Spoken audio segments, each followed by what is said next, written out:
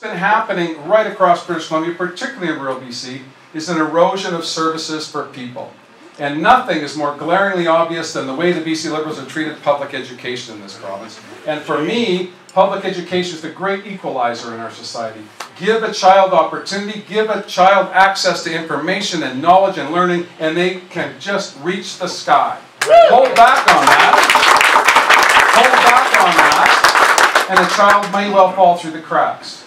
Now, I asked Christy Clark last night if she would apologize to the students, a generation of students that went from kindergarten to grade 12 in underfunded classrooms. I said, will you apologize to those kids and their parents? And true to form, she just kept talking about something else.